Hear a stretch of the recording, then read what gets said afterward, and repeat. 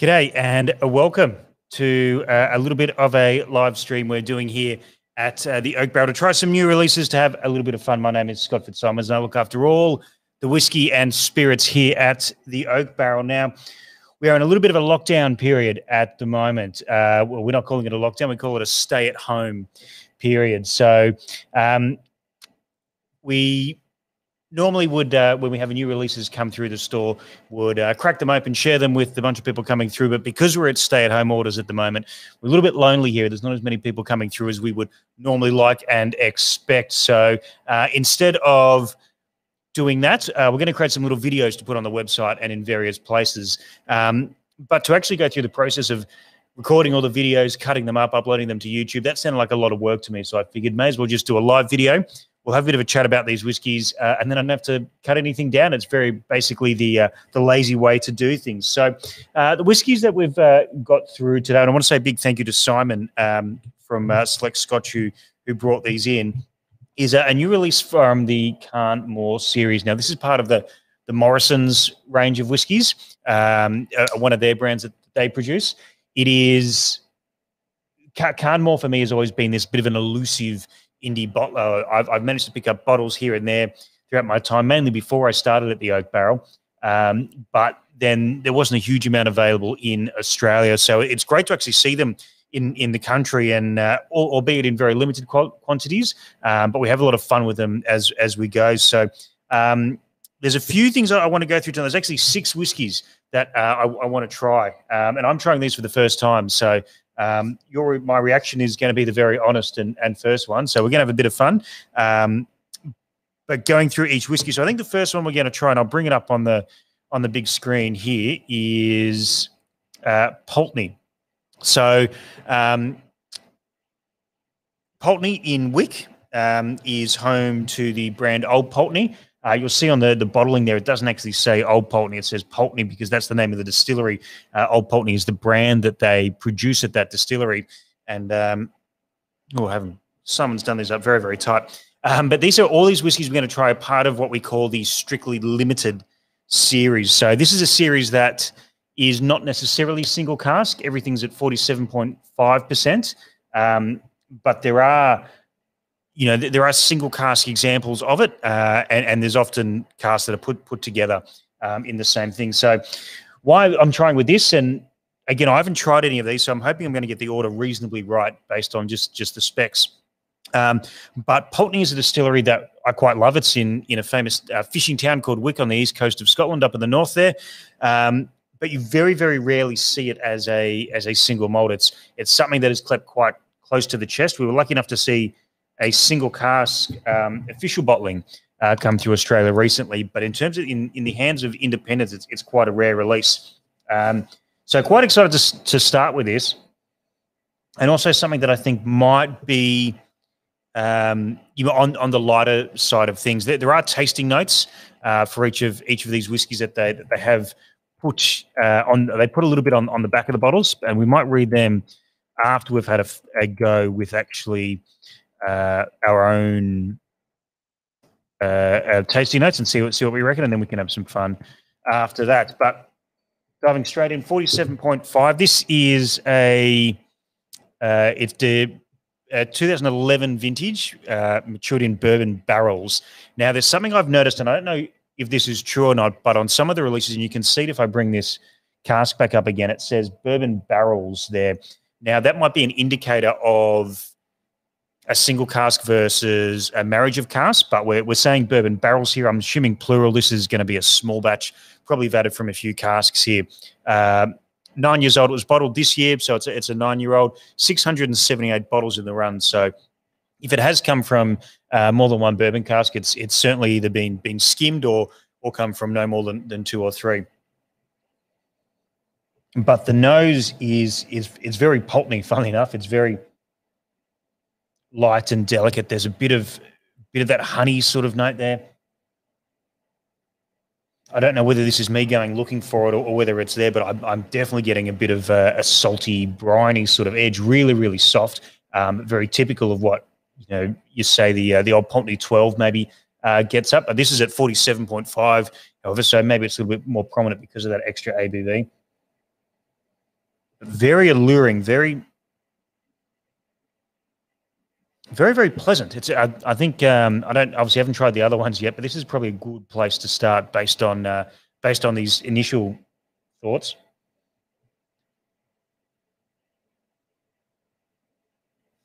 Yeah, light, light honey. It's it's a little bit grassy, but it's definitely that that salinity and that coastal sea air sort of thing coming through there on the nose.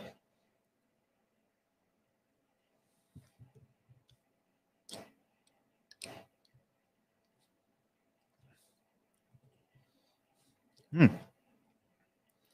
A palate, palate's quite interesting. It's got a bit of almost uh, dankness or dampness to it, which is quite interesting. Um, yeah, uh, a quick uh, shout out to Whiskey is my jammer comments there. 678 bottles in the Pulteney, so more than more than one cask, 100%. Um, could have could have been two, could have been three. Also, could have been skimmed from from a few casks. We're not 100% sure on that, but really nice. Um, dang sort of palate. It, it's not miles away from the the veritable 12 year old. And I do really love that that whiskey. It's, it's regardless of price or age, it's one of my favorites out of the Pulteney range. It just feels like it's amped up a little bit. It's got a little bit more oomph to it. 47.5.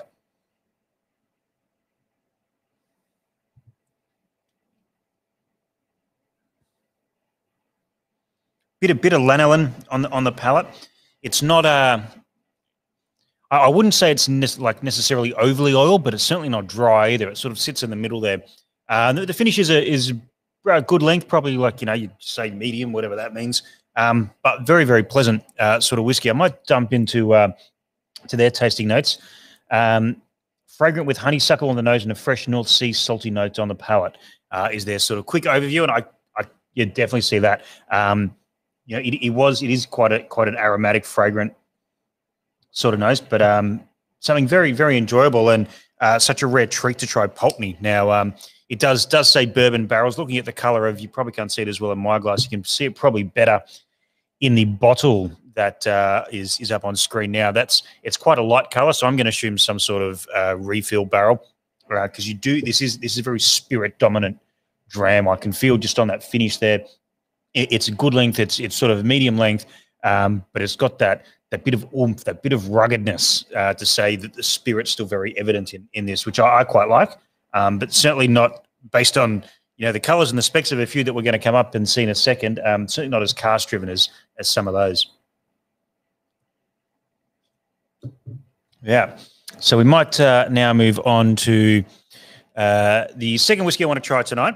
Um, and the links for, for all these details, if you don't catch it, they're all should be on the on the video description there with the links so you can see the, the pictures and, and content as you uh, want to go across it. Reach up for another glass here. Uh, the next one we're going to look at is a Mannochmore um, distillery that I really love. But it, it's a distillery, uh, a workhorse part of Diageo's uh, uh, family of distilleries. Goes into all sorts of blends. It's a relatively new distillery by their um, or by Scotch whisky standards. Uh, you know, often can be that sort of drier, floral, cereally sort of note off of Mannochmores. They do get quite nutty and and complex after a bit of time um, into the hands of certain independent bottlers. But it's a distillery I love because it. I very rarely try it outside of independent bottlers, and therefore it's really up to the discretion of them what they want to do. Um, we can see on this one, reading the the uh, bottle, it's a darker color uh, straight away. Um, all these images were taken with the same lighting, so they should be pretty honest, transparent uh, versions of the lighting. Uh, 2009, bottled in 2021. It's an 11 year old, uh, 721. And again, we see the phrase first fill hogsheads. Uh, when I say again, I mean that that plural. So, obviously, more than one hogshead, but uh, uh, first fill bourbon casks in, in this case. And that's where that color is coming through. Oh, and this is this is uh, big on the nose. That bourbon cask has had quite a bit to say here. This, there's a lot more cask influence here, but it's like a peanut oil or, or pecan nut sort of thing, which is really alluring. I think Mannochmore's a funny distillery. I, have never met anyone that you go, you know, name your top three distilleries and Mannochmore appears there, or you say, hey, what's the best whiskey you've tried in the past five years? oh, this Mannochmore.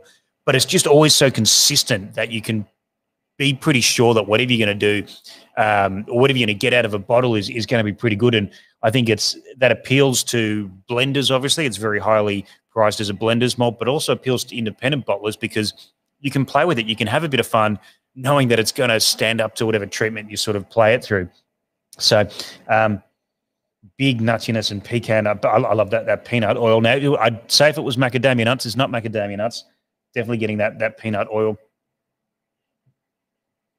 In a bit of uh, yeah, bit more sweetness, bit of creme brulee, or, or you know some sort of salt, uh, not salted, but like some caramels or something there. I'm using different glass, so there's definitely no um, salt residue coming in from the old Pulteney.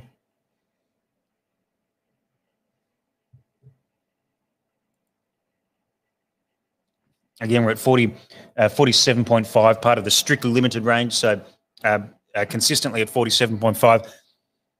Very, very pleasant. I like lovely soft texture. There's a bit of like stone fruit, uh, maybe a bit of like peach uh, on, on the palate there. But that's actually just a really enjoyable experience. Very soft, uh, approachable whiskey. Not, like completely inoffensive and pretty much exactly what I expect from from good Mannochmore. Um, you know, we're 11 years old. We're, we're not a, a, young whiskey anymore, and, and in first fill cask, they've, they've certainly had their say, but quite a rich. And yeah, I, mean, this is uh, this is very Moorish. I'm going to uh, jump onto the writing on the back of the bottle here to see what they have to say about themselves. Um, toffee and orange candy with a gentle hint of cinnamon is the official overview. Um, so I, did, didn't get as much uh, cinnamon spice on this as, as maybe uh, they do, but and, and honestly, not, not as not as much orange, but you know everyone's different. So you know you, you might get more orange than, than I do, but this for me is, is all for nutty decadence. It's sort of a late night. Uh, it, it's not quite pour over your ice cream sort of dram. It's it's not sweet enough, but um, certainly if you if you like your desserts a little bit more savory, I can definitely see the appeal here. And again, you know, maybe I'm going to be that person that starts to put Mannochmore in their top five distilleries of all time because I've very, very rarely had one that disappoints. Um, and and particularly when you take off the the shackles of the blenders and you get to strengths like 47.5, and there's been a lot of single cask at natural cask strength, particularly for some of the younger stuff that gets up to to 60% and, and above. Um, they're really special special whiskies. So. Um, yeah, a bit, bit of a sleeper hit there. Something, uh, something quite, quite good that uh, I would very happily go back and, and drink again. Uh, in terms of uh, allocations for these whiskies, they're they're anywhere between about two and two and six bottles. So there's not a lot around. Um, by the time you're looking at this, it might already be sold out. But um, that's all right. The art of loving whiskey is the art of letting things go sometimes and moving on to the next one. And then, and lucky thing is, there's always going to be another Mannochmore to to have a bit of fun with.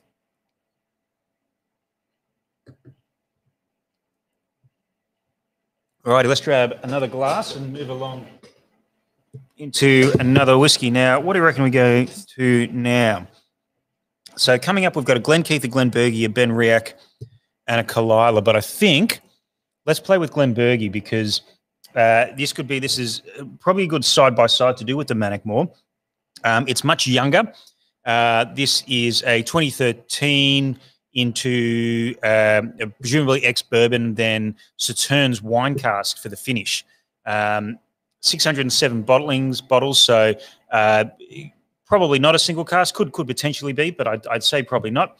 Um, but yes, yeah, seven years old with Sauternes cask finish in it. So yeah, um, whiskey is my jam. Uh, makes a, a, good point on the on the chat here, and this is a good thing about it. if I was just sitting here recording these videos for the website by myself, uh, it'd be very boring and lonely. And uh, it's been very boring and lonely the last couple of days with uh, don't call it a lockdown, stay at home orders here in Sydney. Um, but he mentions the Carn Mor used to be 46%, um, but the last couple of recent batches have gone up to 47.5. And yes, you can see uh, by the image there, that's actually the, the newer design of, of the Carn Mor releases. They did have strictly limited um, under their old style labels as well. Um, and they, they do do a single cask series as well that is that is natural cask strength. But yes, the um, Strictly Limited has jumped up to 47.5, which is great. Now, Glenburgie is is a, is a distillery that quite fascinates me. Uh, I uh, had to actually go back and look to how many Glenburgies we've had during my uh, past six years here at the Oak Barrel. And there's been a couple, but not a huge amount. Uh, there's been a few through uh, Signatory. I think we had one from Cadenheads about four or five years ago. But you hear about all the time these whiskies, these blenders malts that are highly prized by the the blending companies and the blenders, and, and they sort of hold on to them. It's very true of of Linkwood and Mannochmore and all these sorts of things, but there's physically enough for it to go around for indie bottlers to get their hands on as well. Uh, not so true with with Glenburgie. Pretty much everything that they produce is is uh, reserved for blends and particularly Ballantine's. Uh, and in fact, the very few single malt releases of Glenburgie that are official actually appear under the Ballantine's label. It's such a key part of that um, that that blend. Distillery is about 200 years old, but um, a distillery that certainly not a lot of people have, have tried. Um, so I, I, don't honestly really have. I've, I've had a few, you know, maybe five, ten Glenburgies you know, in the past 10 years, but I haven't really had enough as I've had with a Mannochmore or a Linkwood to really form a clear idea of that that spirit and that style.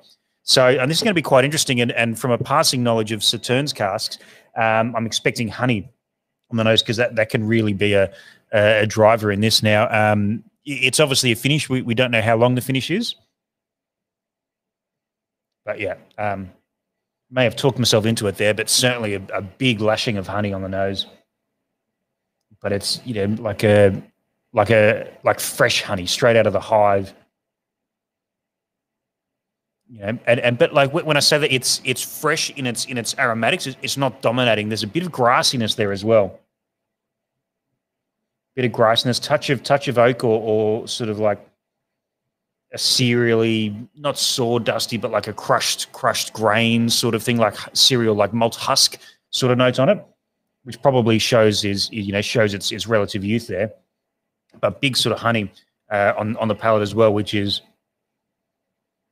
is is very interesting. I, I dare say this is not going to affirm my thoughts about Glenburgie one way or the other in terms of uh, putting it into a box and categorizing it because it doesn't really taste like Glenburgies I've had before. But that's that's the beauty of uh, of cask finishes.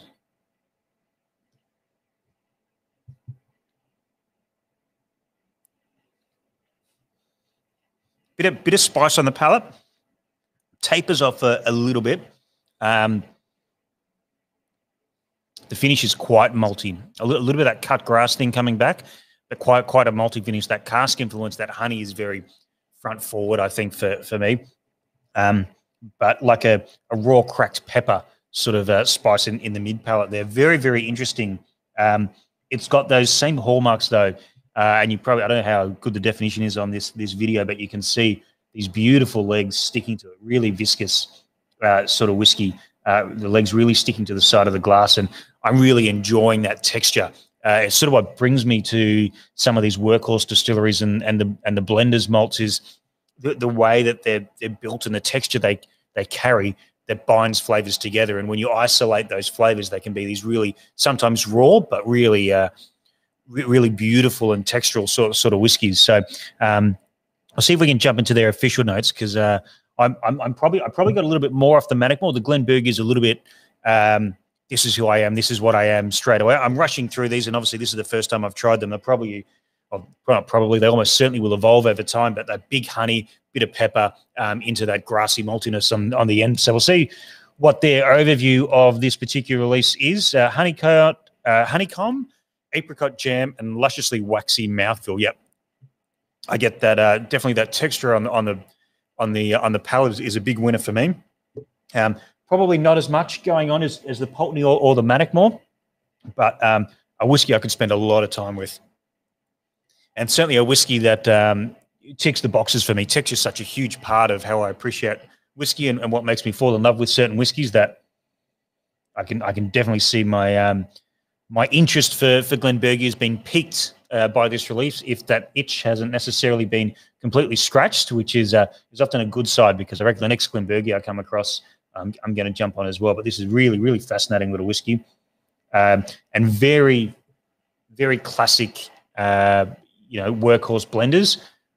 Despite the fact that of that Sauternes cask finish, which has given it that big honey sort of uh, driving uh, plushness on, on the nose, uh, I, I, dare say before that cask finish, this would have been a, a reasonably one dimensional sort of malt, I can see that it was just sort of sitting there. You know, another 10 years, it probably evolved into something very, very special. But um, I, I, can see why this was a candidate for, for the cask finish there. Um, it, it's given another couple of dimensions.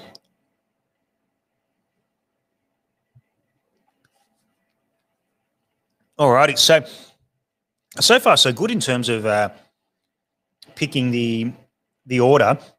Uh, to be fair, those three probably could have gone in any order, so I probably couldn't get it wrong there. But the um, the fourth whiskey we're going to look at is um, a, a favourite distillery of mine and, and probably of yours, considering how many people I know uh, really rave about this uh, distillery. And we're going to Glen Keith now.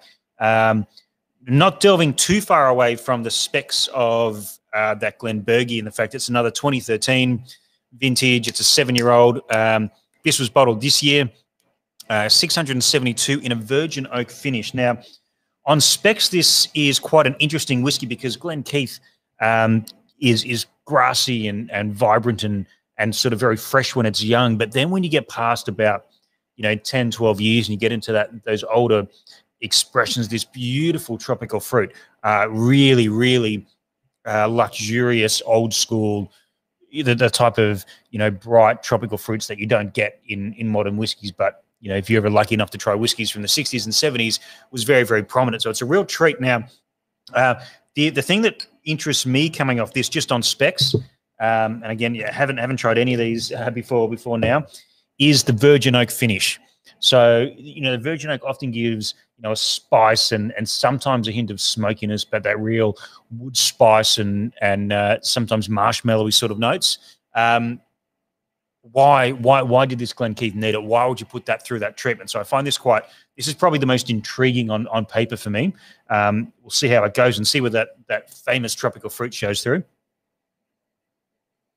And on the nose, yeah, if if it's not, you know, potentially as as uh, as luscious as in certain twenty old releases, there is a lot of fruit. On the nose, where where peaches, where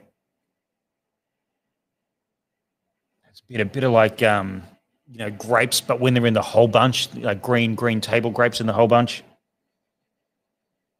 Yep. Uh, shout out to Select Scotch who who is responsible for these samples tonight. So tannin two in in some of those virgin oak finishes. So we'll see if it gets there. But the um, it's a beautiful beautiful nose. It's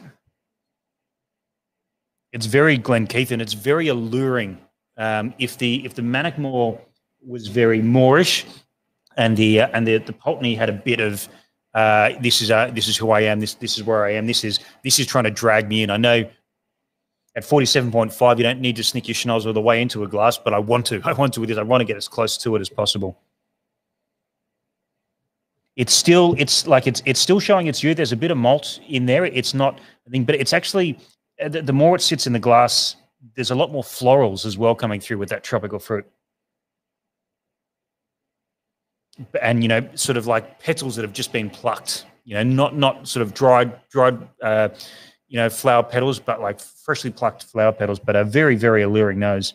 Probably probably the the uh, probably the prettiest of the of them all so far.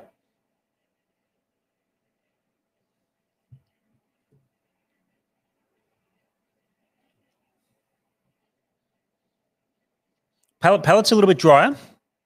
There's there's a bit more oak on it, which is, I presume, we were going to get it at some point. It's a virgin oak finish. You'd be uh, surprised if it, if it didn't get there. But it, it's certainly not overpowering. It's certainly not, um, you know, super tannic or, or, or, you know, fence post or anything like that. And there's no sawdust element here. It's actually just giving it another dimension towards the end. And I think in the same way that the Sauternes cask gave a bit of a dimension to the Glenburgie at the front, this is giving it to the Glen Keith at, at the back at the finish. Um, yeah, it, I mean, I, I, was worried that this wouldn't taste like the Glen Keith that I know and love. I was worried this was going to be a little bit left of center and and something that needed to be fixed. But this is certainly a Glen Keith. This is, uh, it's it's just a, a variation. It, it's a teenager, uh, it, even though it's seven years old. In whiskey terms, I say this is a this is a teenage Glen Keith with with a little bit to say and a little bit of a little bit of spunk and attitude but still those core principles there. Now we'll uh, we'll, we'll dive into uh, the bottle itself and see what their overview quick description is uh, on the back of the label there. Uh, salted caramel and juicy tropical fruits leave a mouth-watering finish. And yeah, we we we're, we're on the same path. We're, we're doing it in different orders, but certainly getting those same elements there. Salted caramels and juicy. I don't get a huge amount of saltiness on it, but I do get that sort of um, hard caramel, like toffee caramel sort of aroma to it, that little bit of confectionery sort of element.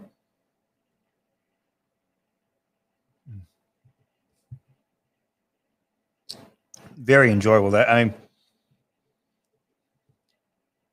I think it's one, and I've had a few people ask me, so like, uh, the Glen Keith, have you tried it yet? No, no, I haven't. Sort of Glen Keith diehards, and I think this this is a bit of a bridging dram uh, for for Glen Keith. It's going to please the people who are Glen Keith um, diehards. You know, it's going to scratch that itch without paying seven hundred dollars for twenty year old Glen Keith. Um, but it's got the elements to sort of introduce people who haven't maybe tried this distillery before to come in and, and have a bit of a go at it. So I think it's quite interesting one. Um, I, I, would be would have been interested to to see what it was like before it went into the virgin oak uh, finish, maybe just a little bit flat. Um, I wouldn't describe this whiskey as flat. I can see it's got a little bit of jump and a little, of you know, dy- dynamism uh, to it. So I, I, dare say that's that's probably what it was. But um, but yeah, very uh, very interesting release. And like yeah, I think it's it's it will help people get into Glen Keith, but also um, appease the, the Glen Keith drinkers. But um, certainly certainly very very very pleasant and and um, you know, I don't like talking about price, but if you're reading this on the website, um, when it's embedded underneath the uh, article, you'll you'll see exactly what it's worth, and I think it's very good bang for buck. Alrighty, so the, the the final two whiskies we're going to go through, I sort of did on color. One of them's a Caol Ila, so that's obviously going to go last. Um, but there is a, a Benriach in um, that's got quite a distinct color, so I thought we'd do that after the the couple of bourbon cask uh, mature maturations and finishes. So grab another glass very quickly and go into uh, an, another 2013. Where so this is the uh, the trio of 13s. Uh, Benriach, seven year old. Um, 652 bottles in an Oloroso sherry butt. Now, I was making the point with uh, some of the early releases, particularly the Pulteney and the Mannochmore, that we we don't know the, the strictly limited range is is great because it doesn't abide by too many rules. Everything's forty seven point five, but it doesn't have to be a single cask. It doesn't have to be a vatting. It can be whatever it wants. Um, on those bottlings, we saw bourbon barrels and and hogsheads. We saw the plural. Uh, this one says Oloroso sherry butt. So it, it's saying singular. So I'm going to assume that, you know, with 652 bottles at seven years old, so it's not that old. At 47.5, so it's stretched out a little bit.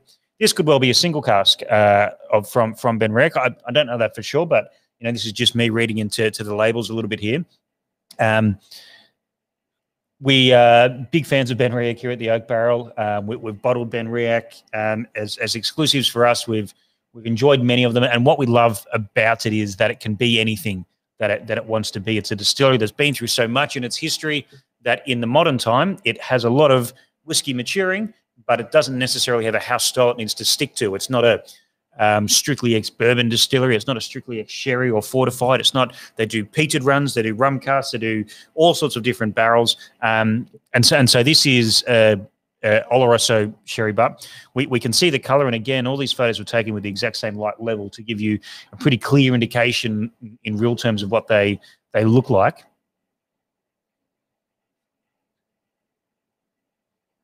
Mm, the nose is a little bit dirty, which um, for someone who's not always the biggest fan of the the clean sherry cask, I, am quite attracted to.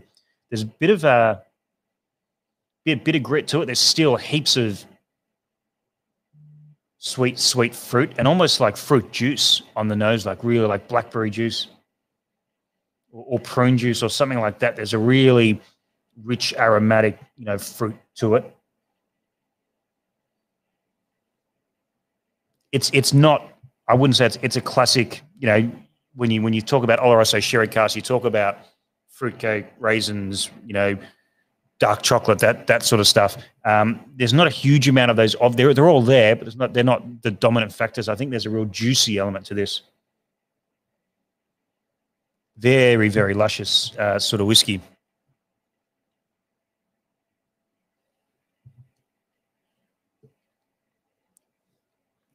carries through on, onto the palate. There's a bit of almost hospital, uh, not hospital, a uh, forest floor sort of sort of dampness.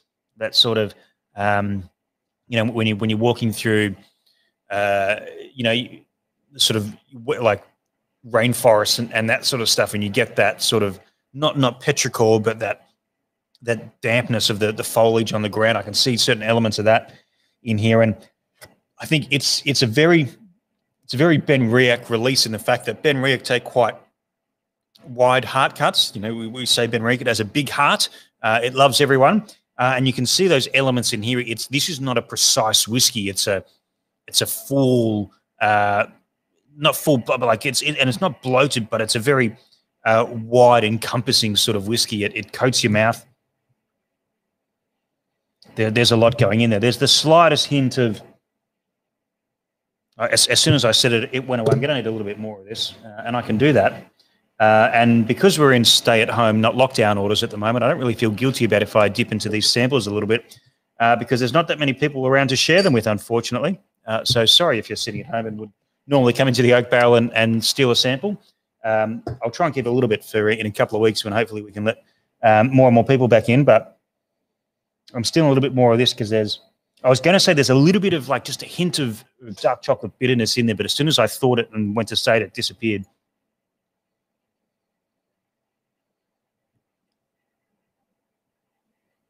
and it, it's strong. There's there's an oomph to it. There's a bit of um, you know at forty seven point five. You know I feel that weight probably a little bit more than I did in in the other ones so far. And, and funnily enough, the uh, the, uh, the the Mannochmore and the Glen Keith uh, both stand out to me in, in their prettiness. Um, I wouldn't necessarily call this whiskey. This is a bit more of a working class sort of sherry cask, which, funnily enough, is as I said, is is up my uh, is up my alley when it comes to sherry cask. So I want to see a bit of grit. I want to see a bit of oomph. Um, everyone's different. I mean, there's I, I, can see how people who love the cleanest of clean sherry casks without a, a, a foot wrong and very precise. Uh, you know, it's it's like Glenmorangie Lasanta. This is not type thing. This this has got a bit of guts to it.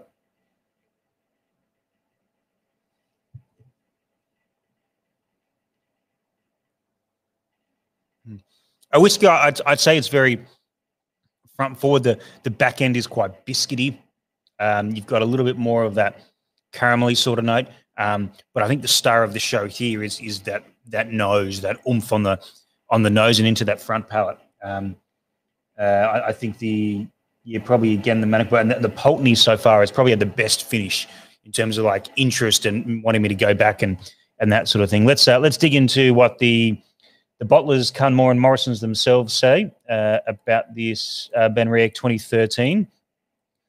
Uh, in terms of their quick overview, lovely dried spices, great depth of notes with cedarwood and a nutty finish. So yeah, I mean, slightly different notes to what what I got, but again, they're going spices, um, you know, woody notes, and nuttiness. None of those things are necessarily the what you would associate with clean sherry casks. They're they're a little bit more grit, a little bit more oomph uh, to them. So uh, um, it's quite quite interesting that we went slightly different ways of appreciating the the same thing uh, in that release.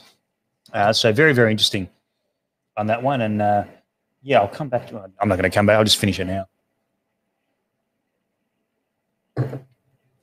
because there's more in that sample bottle if I need. So let's go into uh, the final whiskey of this quick little video about these new releases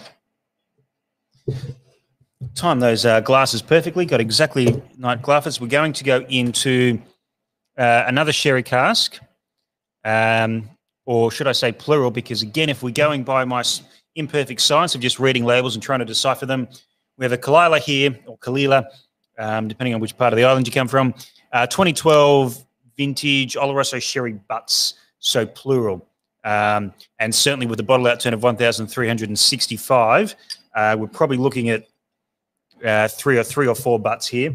Um, of course, remembering that as an independent bottler and as as bottle brokers, there's no need to actually put every uh, drop of a, a, barrel into a release. They might have, a, you know, I'm just speaking hypothetically here. I have no idea the inner workings of Morrison's and, and how they work their whiskies, but they might theoretically have 10 barrels of whiskey um, and they will create a batch of 1,365 across those 10. Um, or they might pick two or three and put them together there might be one that has a certain element that is quite overpowering or like quite dominant, and so they will almost use that as, as what they call salt and pepper blends uh, to sort of top up some of the others. But um, if, if they are straight cast, we're probably talking about three, um, three or four uh, Oloroso sherry butts from Caol Ila.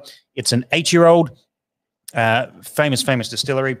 Uh, and when I was talking before about how I like my sherry cask, a little bit of grits, a little bit of oomph to them, not necessarily the prettiest things ever. Um, I think this one's going to do the uh, the trick straight off the off the spec. So uh, I'll bring it bring it back up again. Again, the the color is is very uh, naked, and I will actually what I can do now is I scroll back through them. Uh, so that's the BenRiach to the Caol Ila, quite similar in color. The BenRiach's a little bit darker. The Glen Keith, uh, the Glenburgie, which is probably the lightest out of the bunch. Um, the Mannochmore, uh, I I correct myself. The Pulteney certainly the lightest out of the bunch. Definitely refill barrels there. Um, but as I said, all, all, done with the exact same lighting structure and lighting level, so you can see it, it is quite a dark whiskey. Um, yeah, it's got that like the sweetness is a little bit muffled by the by the smoke. You, you can see heaven and hell, you know, the yin and yang of the the sweetness and the and the smoke sort of fighting there. But it has that Caol Ila freshness as well. There's a bit of citrus in there,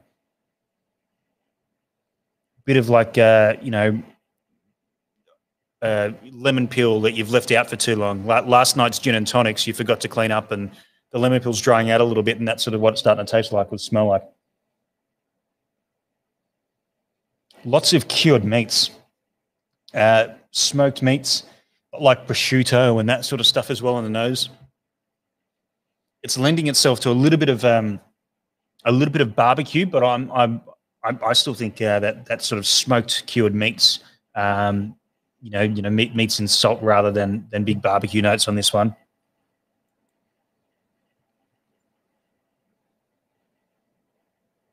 Uh, fitting, fittingly last. I was the only peated uh, of, of the night, so uh, was the only candidate to, to go last, but certainly uh, definitely fits that bill.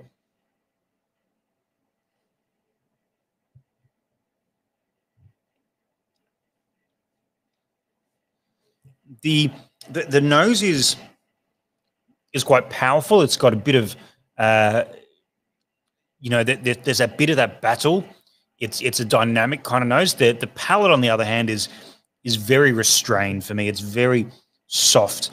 Um, maybe soft's the wrong word. It's very rounded.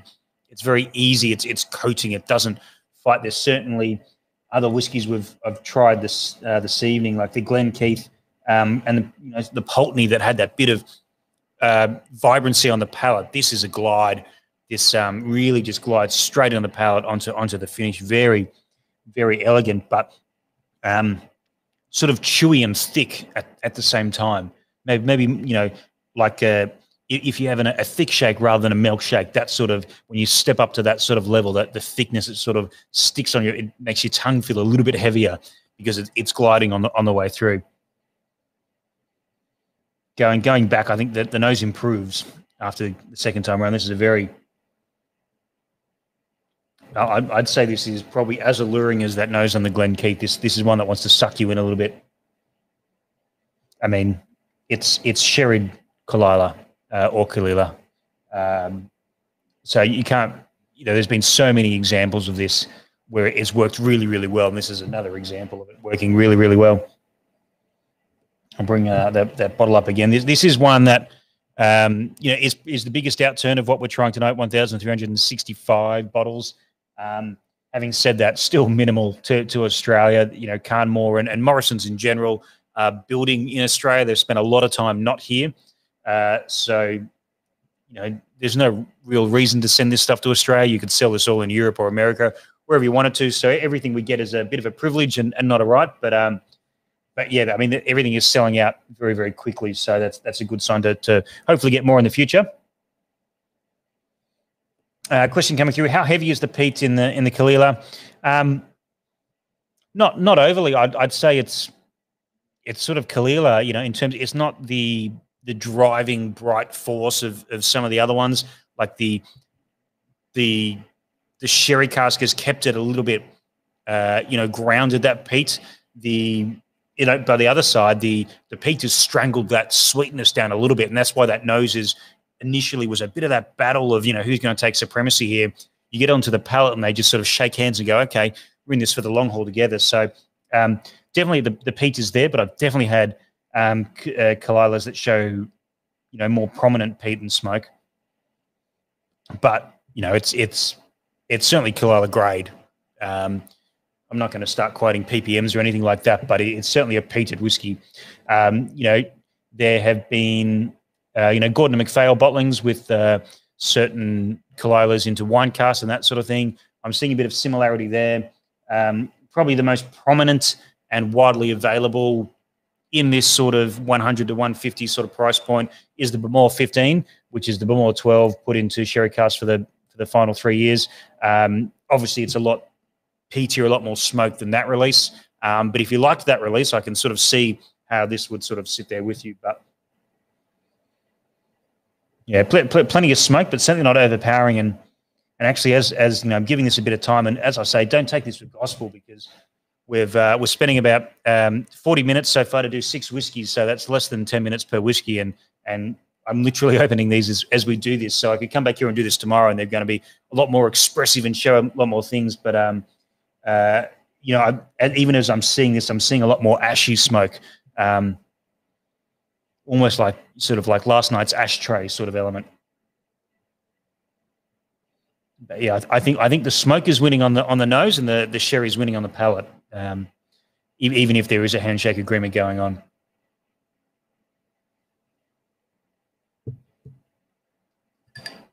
Hmm. Very tasty. I think um, by the time you, you listen to this one, um, that Caol Ila will, will, almost certainly be gone. It's probably the most in demand out of the, these releases. So, look, thanks for thanks for keeping me company here on a, on a very quick little um, uh, video tonight. Basically, doing this live so that I don't have to do the videos individually and cut them up and then upload them into YouTube. I can just take this video and put it under all the products uh, moving forward. So, uh, thank you everyone for for joining. Thank you for the questions for everyone. Um, we'll be back with some more reviews and this sort of thing moving forward because I can't go to any bars at the moment and I can't host any whiskey tastings and invite you people in while we're at stay at home orders. So um, we have some releases coming up. There's a whole bunch of Cooper's Choice that you can't see, but I can see um, at the corner of my right eye there. That's going to be excellent. Some cool stuff.